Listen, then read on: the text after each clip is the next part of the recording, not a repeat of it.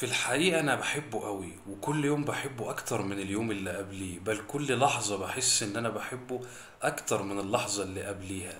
المشكلة إن أنا حاسة إن أنا بهتم بيه قوي وخايفة إن يجي يوم ويزهق مني لأن في ناس كتير بتقول إن كثرة الاهتمام أو البني آدم أو الإنسان عامة لو اتعود على حاجة بعد فترة بيزهق منها. الفكرة إن هو كمان بيحبني وبيهتم بيا بس دايما المقولة دي مقلقاني ومخوفاني ومخلية طعم السعادة بتاعتي ناقص. إيه اللي أنا ممكن أعمله؟ السؤال ده بالظبط كده بنفس الطريقة بنفس الكلام. اتسألني من بنت من يومين تقريبا بتقول لي أعمل إيه؟ انصحوني. تعالوا كده مع بعض نقول لها إيه اللي هي ممكن تعمله؟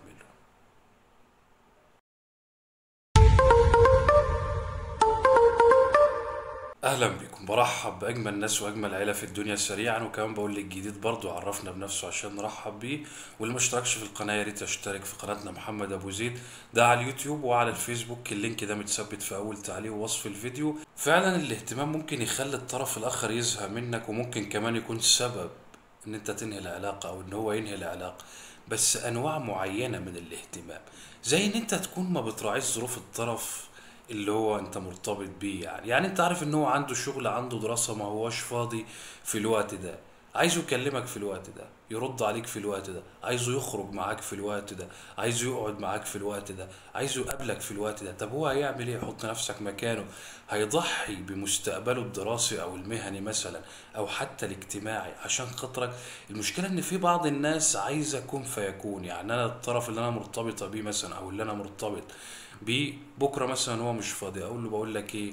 أنا عايزاك تقعد معايا بكرة أو أنا عايز أقعد معاك بكرة أو أنا عايز أقابلك بكرة. طب هو جاي ما فضاش بكرة. خلاص بقى نتقمص ونزعل ونفضل زعلانين ونكبر الدور فندخله في دراما. انت كده يعني بتحمله فوق طاقته بتحمله أكتر من اللي هو ممكن يقدر إن هو يعمله لك.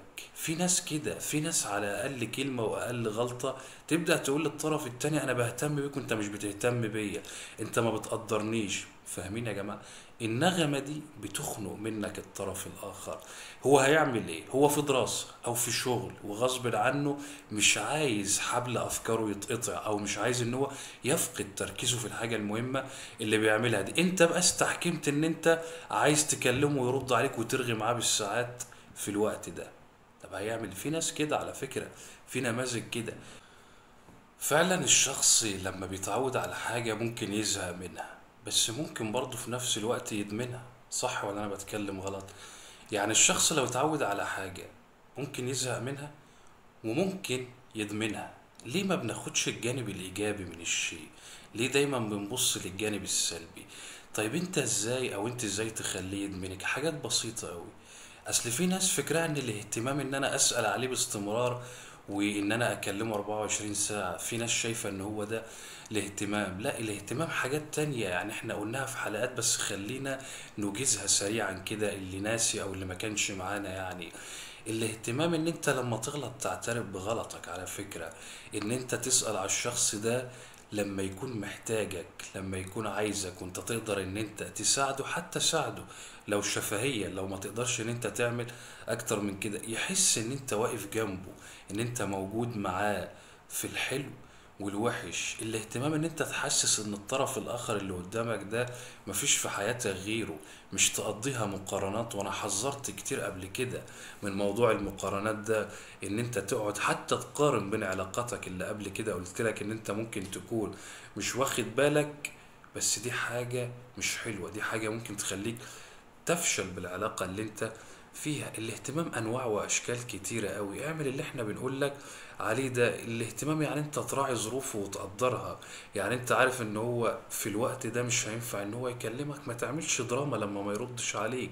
ما تعملش زعلة وتتقمص وتقول أنا هعامله بالمثل وأنت عارف إن مش بإيده. انت عارف إن هو لو بإيده كان هيكلمك كان هيخرج معاك كان هيقعد معاك. ما تروحش مثلا أنت عارف إن ظروفه لا تسمح وتطلب منه مثلا حاجة كبيرة أكبر من إمكانياته ما يقدرش إن هو يعملها لك وتمشي بمبدأ أصل اللي بيحب بيعمل أي حاجة وكلام الأفلام اللي لما بيأكلش عيش ده كل ده نوع من أنواع التقدير. ما أنت لو بتحب حد هتقدره. التقدير ده نوع يعني في حد ذاته من أنواع الاهتمام. اهتمام كمان إن أنا ما أغيبش من غير أي مبررات وفجأة كده وأرجع من غير أي مبررات. كل حاجة كل دي حاجات إحنا حذرنا منها قبل كده. ما بقاش عارف إن هو محتاجني بيرن عليا في الوقت ده وأنا برغي مع صاحبي أو صاحبتي أو ايا كان وأقول له خليك أنت دلوقتي ما أناش فاضيلك لا في أولويات. المفروض الشخص اللي أنت مرتبط بيه هو أهم شخص في حياتك ولازم الإيحاء ده يوصل له. هو ده الاهتمام إن أنت تراعي ظروف اللي قدامك وتتعامل معاه بناء عليها. تختار الأسلوب الصح للتعامل مع الشخص اللي أنت مرتبط بيه. مش اهتمام وخلاص إن أنت تتكلم تتكلم على الفاضي والمليان وعايز 24 ساعة وفكرك إن أنت كده خلاص مهتم بيه. لأ كل الحاجات دي لو أنت بتراعيها هيحبك وهيتعلق بيك وهيدمنك. عارفين الأفيونة كده؟ هتصبح أنت بالنسبة له زيها. يقوم من النوم عايزك قبل ما ينام عايزك في نص اليوم مشغول بيك وهو بيعمل أي حاجة باله معاك عايز يخلص اللي وراه أوام عشان يجي يقابلك أو يسمع صوتك أو يكلمك. أصبحت أنت بالنسبة له كالإدمان. أدمنك. مزهقش منك. هي حاجة بسيطة بس. نعرف إن إحنا نختار الأسلوب اللي إحنا نتعامل بيه مع الطرف الآخر. إزاي نختاره؟ إحنا بنعمل حلقات توعية كتير. الحلقات دي كلها يعتبر كده مكملة لبعضها كلها في خيط سلسلة مكملة لبعضها. خد منها النصيحة اللي تقدر تعمله أو اللي تقدري تعمليه.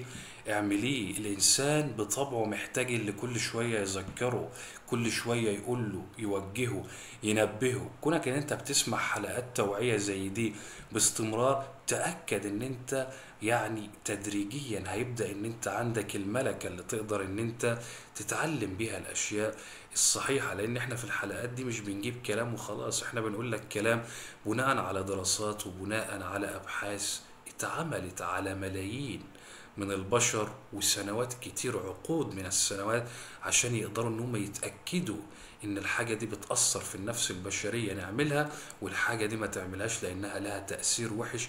وقيس على كده بقى كل العلوم مش بس علم النفس عامة يعني ولكن إحنا بنتكلم في مجالنا اللي إحنا بنتكلم فيه. كل ما الإنسان كان بيتعلم أكتر وعنده معرفة أكتر كل ما كان قادر إن هو يتعامل في الحياة ومع الآخرين ويفهمهم ويقدر يكسبهم ويطور من حياته. مفيش إنسان غشيم أو غبي بيبقى محبوب أو بيوصل لقمة المجد اطلاقا.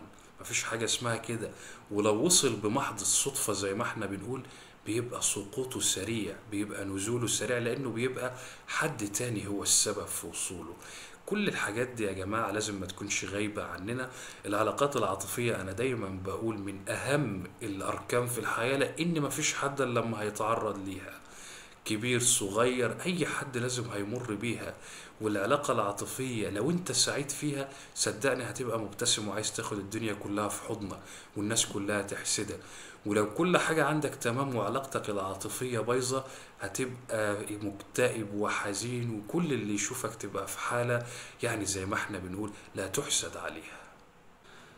أتمنى أن أنتوا تكتبوا رأيكم في الحلقة دي. أنا بقرأ كل تعليقاتكم وبتعرف كمان عليكم من خلالها وتابعوني على الإنستجرام وصفحتنا على الفيسبوك. الروابط دي كلها متثبتة في أول تعليق ووصف الفيديو.